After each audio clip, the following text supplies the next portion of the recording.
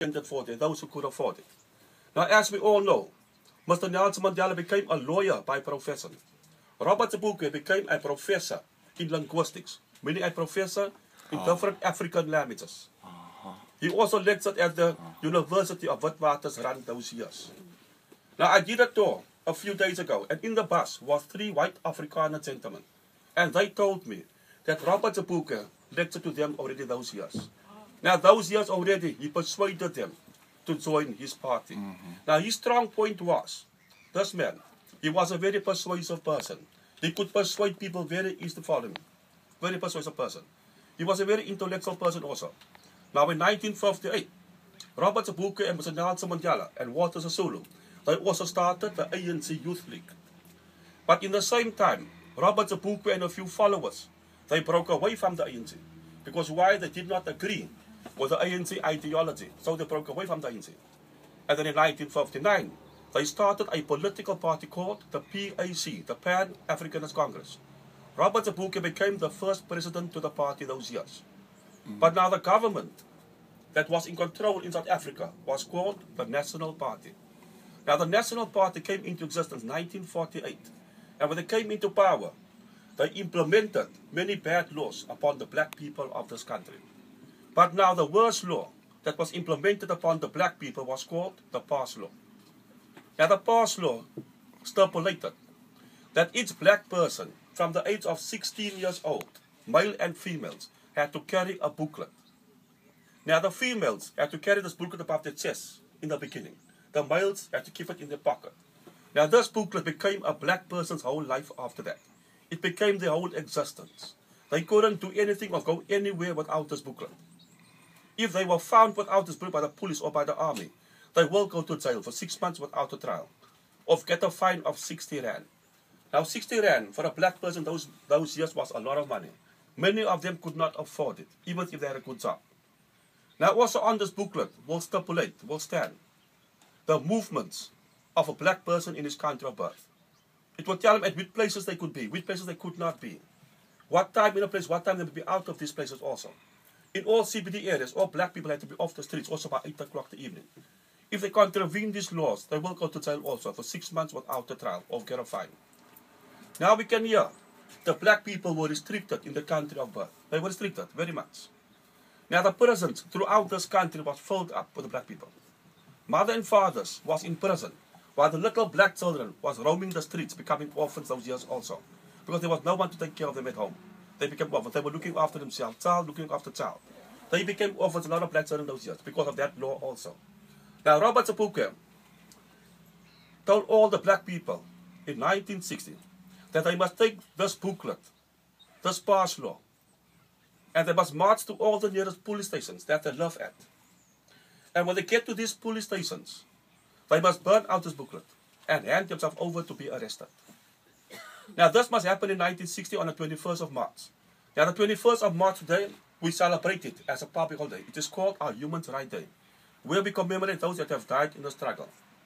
Now, in 1960, 21st of March, all the black people in the early hours of the morning started to march.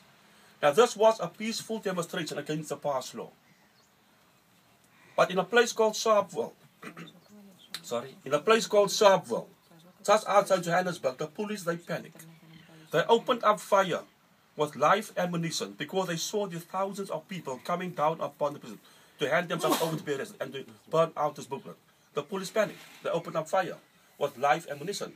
They killed 69 people in Sharpeville alone. Women, children, and men were shot in the backs while trying to run away from the bullets. Also in Cape Town, a place called Langa, where Philip Kgosana was marching, 23 people was also gunned down. Now it was called the Sharpeville Langa Massacre.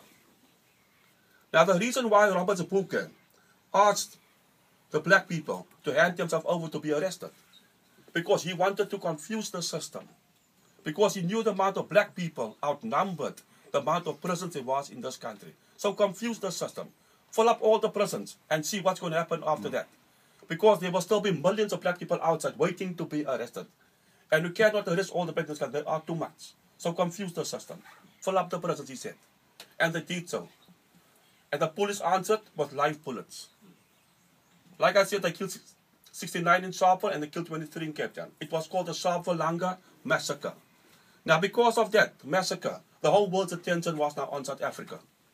Countries that you come from this bus, in many other countries, started to put sanctions upon South Africa, started to boycott South Africa's goods.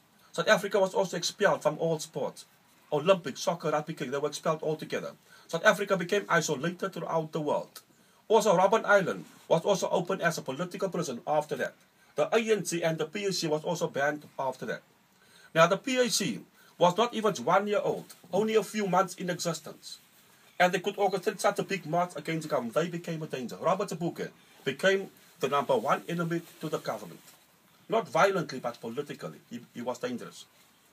Now, thousands was arrested and thousands was injured. Robert Sobukwe was also arrested. He was sentenced in a court of law to three years imprisonment in Pretoria Central. Now, just before his three years was about to be finished, the government had a meeting in Parliament. And they came up with a law that was named after Robert Sobukwe, just to govern one man, Robert Sobukwe. And that law was named after him, it was called the Sobukwe Clause. And this clause stipulated that as soon as Robert Sobukwe comes out of prison, a free man, that they can rearrest him, put him back in prison for indefinite without a trial. Mm. Now the Minister of Justice, he said also in Parliament, that they must sentence Robert Sobukwe until the other side of eternity. This man should not be set free at all. Now, when he came out of prison a free man in 1963, thinking that he was going to be set free, his supporters was also waiting him outside the prison. The police was also waiting for him. Then the police put him in a helicopter. They flew this man straight to Robben Island by helicopter. That prison there, like I said, was prepared only for him. When he was brought here to the island in 1963, that prison there, that house became his living coffin. This whole fence of area here became his whole world. He couldn't go beyond this fence of area while being kept on this island as a prisoner.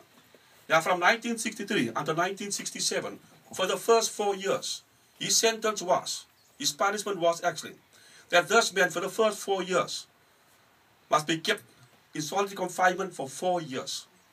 Not allowed to talk to anyone for the first four years inside that building over there, that prison.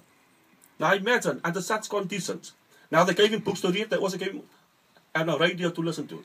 But he was not allowed to talk to anyone for the first four years. What's going to happen to any human being under such conditions? He became senile.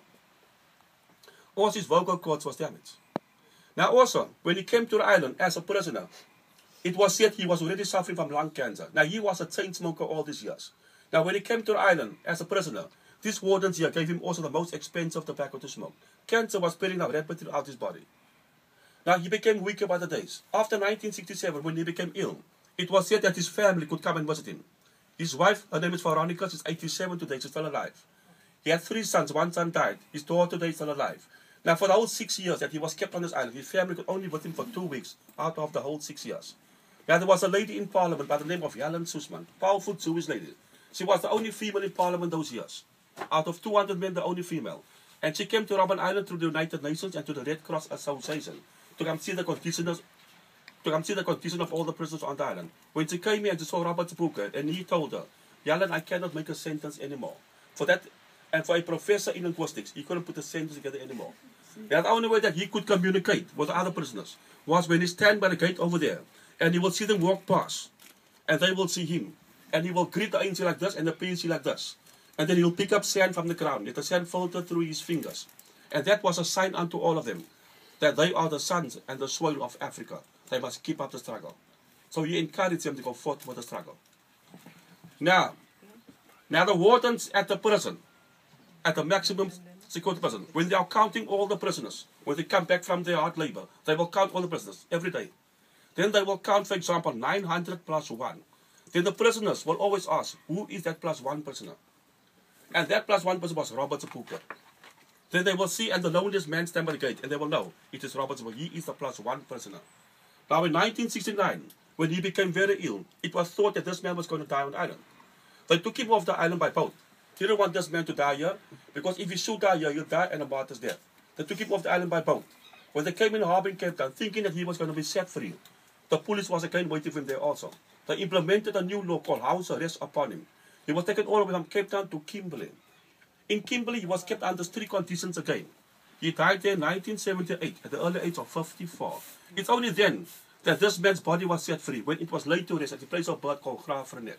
Now in Graaff-Reinet, there's a museum about him. Also in Kimberley, there's a museum about him. There's also a book you can purchase at our courier shops called How Can a Man Die Better? Written by Benjamin Pogrund. Any questions as far? Does he have any books? It's a book. eh? Yes. There's a book also called uh, The Land is Ours. Is there also? It's at the shop.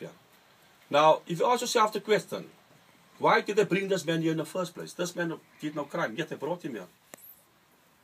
The only other logic why they brought him here was not for what he did, but for what he could do. That's right. That's why they brought him here. Thank you.